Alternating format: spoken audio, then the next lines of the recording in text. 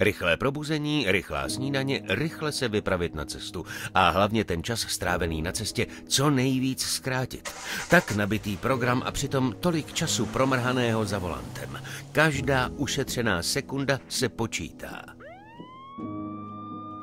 Tisná linka, prosím. Posunula si bouračku, rozděl se tady tři auta. No je tady jedno zraněný, určitě pošlete RSETu.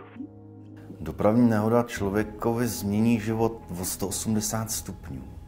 Nejdřív jsem strašně chvátal na všechno, nebo se, chtěl jsem vlastně jakoby spoustu cílů v životě uh, si splnit.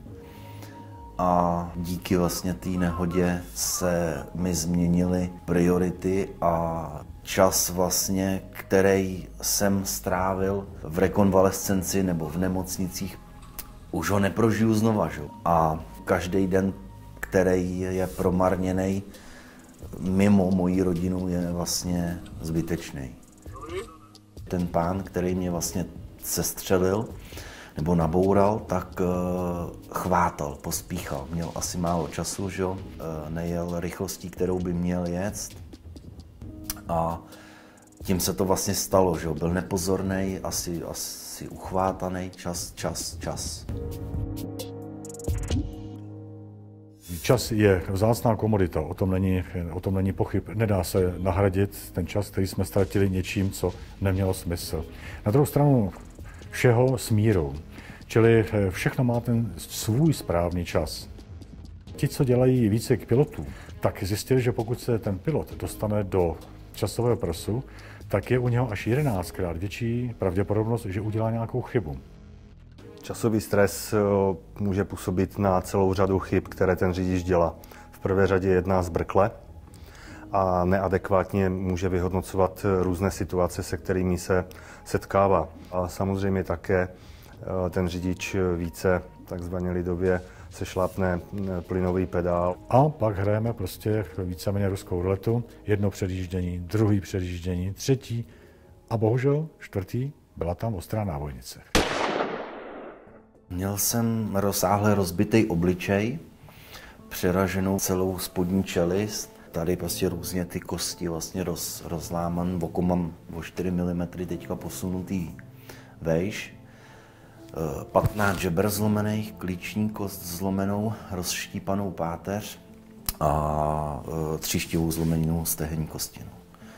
To, co jsem prožil prvních půl roku za bolest, strašná bolest, hrozná, nepředstavitelná bolest. Eh, důležitá věc, ať jedu kamkoliv, je plánování. Jestliže někde mám být určitý čas, tak vždycky vědu dřív a vytvořím si tam tu časovou rezervu, nějaký polštář a potom nemusím tolik spěchat. Jo. Důležitá je příprava a vždycky vlastně vyjet dřív. Fakt je, že když pojedu nějakou známou trasu a pojedu ji úplně podle pravidel a pak, pak pojedu na doraz, jak to jde, tak eh, na hodině jízdy ušetřím 5-10 minut času, což je zanedbatelný.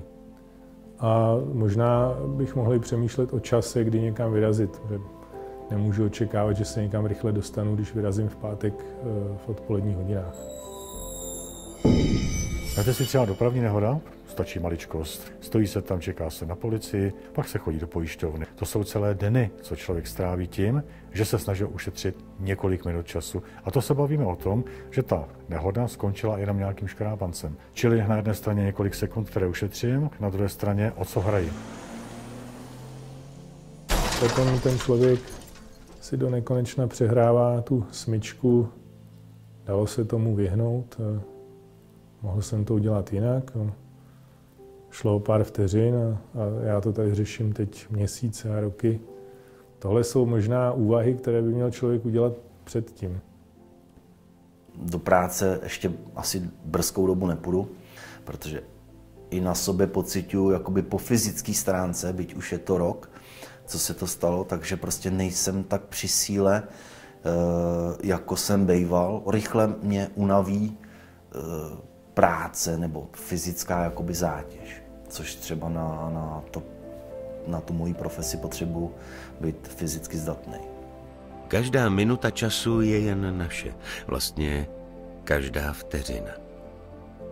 A nakonec je jen na nás, Jestli s tím časem smysluplně naložíme, nebo si ho prostě necháme vzít. Ty to zvládneš, CZ.